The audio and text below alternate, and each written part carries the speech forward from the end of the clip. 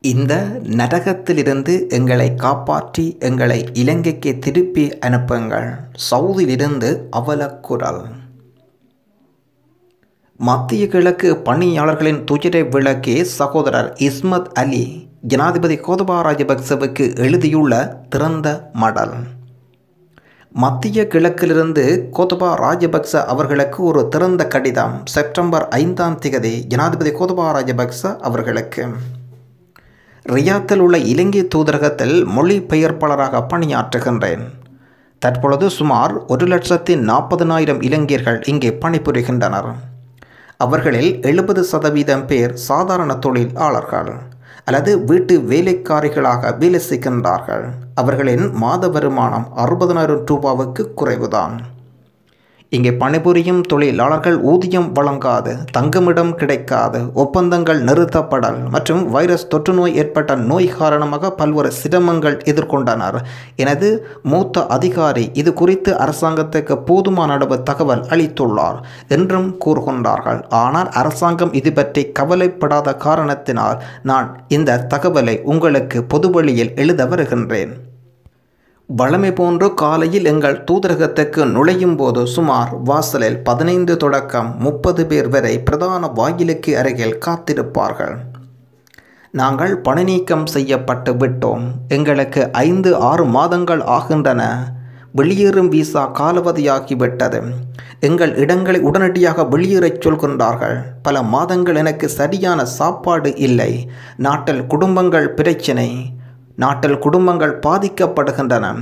அவர்கள் தங்கள் செலவுகளுக்கு பணம் அனுப்ப முடியாத சிக்கல் படுகின்றார்கள் இறப்பதை தவிர எங்களுக்கு வேறு வழிகள் இல்லை. எங்களை எப்படியாவது நாட்டுக்கு திருப்பி அனுப்புங்கள். எங்கள் ஊழியர்களின் குறைகளை நாம் தினசரி கேட்க வேண்டும்.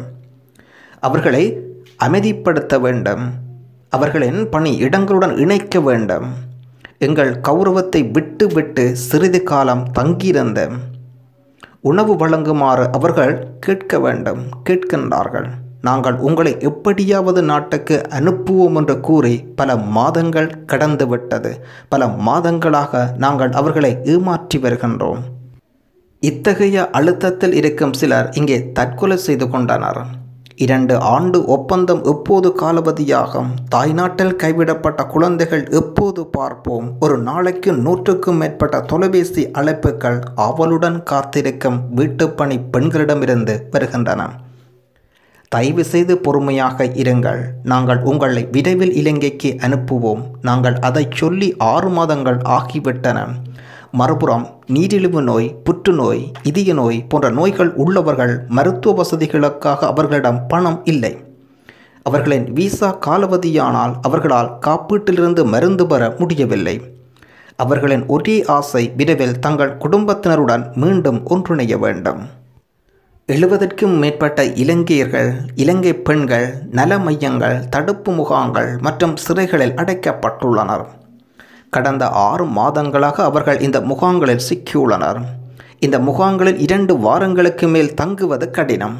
நாங்கள் அவர்களை பார்க்க செல்லும்போது இந்த நரகத்திலிருந்து எங்களை காப்பாற்றி எங்களை இலங்கைக்கு திருப்பி அனுப்புங்கள் என்று கூறுகின்றார்கள். கடந்த வாரம் எங்களை அவ்வாறு செய்ய சொன்ன ஐம்பத்தி ஐந்து வயது நபர் இரண்டு நாட்களுக்கு முன்பு திடீரென இறந்துவிட்டார். அந்த நபரின் கடைசி விருப்பத்தை கூட நிறைவேற்ற முடியாமல் போனதை மனது நிரம்புகின்றது. வலிக்கின்றது. அவர்களது கணவர்கள் மனைவி மற்றும் வயதான பெற்றோர் வீடு திரும்ப முடியாமல் குறுகிய கால விசாக்களில் காத்திருக்கின்றார்கள். அவர்களில் சிலர் கர்ப்பிணி பெண்கள் மற்றும் நோய்வாய்ப்பட்டவர்கள் மருத்துவ வசதிகள் இல்லாமல் இன்னும் நாளையும் வெளியேறலாம் என்று அல்லது நாளையும் வெளியேறலாம் என்ற நம்பிக்கையில் அவர்கள் பல மாதங்களாக நாட்களை கழித்து கொண்டிருக்கின்றார்கள் எண்ணிக்கொண்டிருக்கின்றார்கள் இந்த தொழிலாளர்களின் பிரச்சனைகளை தீர்க்க எங்கள் அரசாங்கத்தை போன்ற மிக குறைந்த பணத்தை கிட்டத்தட்ட ஐந்து லட்சம் ரூபாய் ஒதுக்கியுள்ளோம். ஆனால் அவர்களின் அவல நிலையை தீர்க்க எங்களால் முடிந்த அனைத்தையும் செய்துள்ளோம். ஆனால் அவர்களை வீட்டுக்கு அனுப்புவது குறித்து நாம் எதுவும் செய்ய முடியாது. அதை நம் அரசாங்கத்தினால் தீர்க்க வேண்டும். இந்த தொழிலாளர்களை நமது அரசாங்கம் புறக்கணிப்பதில் முதலாளிகள் நிறுவனங்கள் மற்றும் சவுதி அரேபியா தொழிலாளர் அமைச்சக அதிகாரிகள் அதிருப்தி அடைந்துள்ளனர். மற்ற தெற்காசிய நாடுகள் தங்கள் தொழிலாளர்களை தங்கள் சொந்த நாடுகளுக்கு திருப்பி அனுப்பும்போது உங்கள் நாடு ஏன் அதை செய்ய முடியாது? உங்கள் அரசாங்கத்துக்கு பணம் மட்டுமே தேவையா? உங்கள் நாட்டின் ஆட்சியாளர்கள் மனிதாபிமானம் இல்லாதவர்களா? அரேபியர்கள் இதை சொல்லும்போது இலங்கையின் முகவராக வெட்கப்படுவதை தவிர வேறு என்ன செய்ய முடியும்? உங்கள் மீதுள்ள நம்பிக்கையை உடைக்க வேண்டாம். பல மாதங்களாக இந்த மக்கள் நாட்டின் நன்மைக்காக பல கஷ்டங்களை பொறுமையாக தாங்கிக் கொண்டிருக்கின்றார்கள். மக்கள் தங்கள் தாயகத்துக்கு திரும்புவதற்கான உரிமையை வழங்குங்கள். இந்த தொழிலாளர்களை ஐரோப்பிய நாடுகளுக்கு சென்ற பணக்காரர்களுடன் ஒப்பிட வேண்டாம். இன்னும் நாட்டுக்குள் வந்தும் இழக்கக்கூடியவர்கள் அல்ல.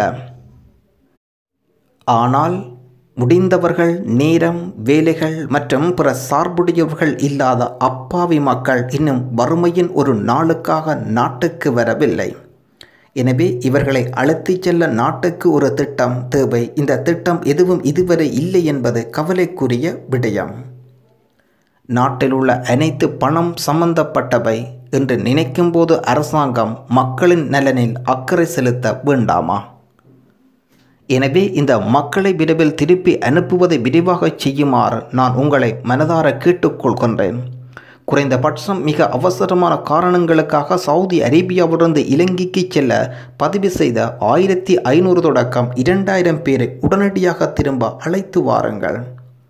ஜனாதிபதி அவர்களே புலம்பெயர் தொழிலாளர்கள் மிகவும் கஷ்டப்படும் நேரத்தில் தூதரகங்களின் தொழிலாளர் நல பிரிவை முற்றிலுமாக அகற்ற அரசாங்கம் முடிவு செய்துள்ளது.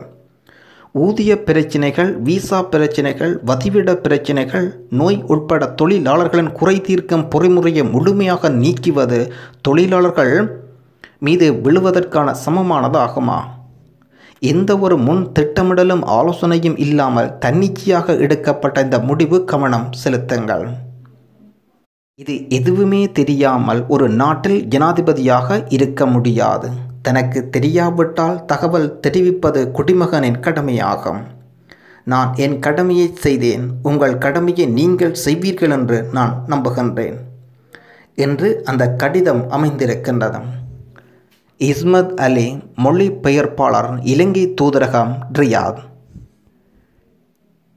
ரியாத்தில் பணிபுரியும் அவருடைய உள்ள குமரல் நாளாந்தம் எத்தனையோ தொழிலாளர்களின் கருத்துக்களை கேட்டு அந்த கடிதத்தினை இலங்கை ஜனாதிபதிக்கு அனுப்பி வைத்திருக்கின்றான் இந்த நரகத்திலிருந்து எங்களை காப்பாற்றி எங்களை இலங்கைக்கு திருப்பி அனுப்புங்கள் என்று சவுதி அரேபியாவிலிருந்து ஒலித்த குரலாக மட்டும் பார்க்காமல் மத்திய கிழக்கில் பணிபுரியும் அனைத்து தொழிலாளர்களின் குரலாக எடுத்துக்கொள்ளுங்கள் எடுத்துச் செல்லுங்கள். உரிய அதிகாரிகளின் காதில் விழும் வரை.